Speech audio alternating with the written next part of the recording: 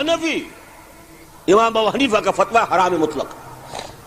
जिसकी ज़मीन है, खुद काश्त करे या अपने किसी भाई को दे दे। मुताद अहादीस इसकी है।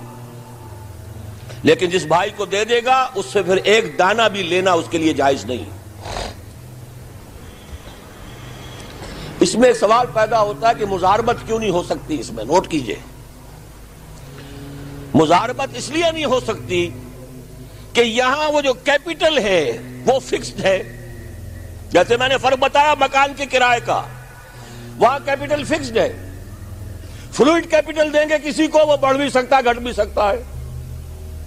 मकान जो आकर किसी को दिया, वो क्या लेगा उसमें से एक महीना रहेगा। बस उसका किराया ले लीजिए। ज़मीन पर जो मेहनत करेगा, मुशक्कत करेगा, पूरे साल या छह महीने लगाएगा, अगर फ़सल तबाह हो गई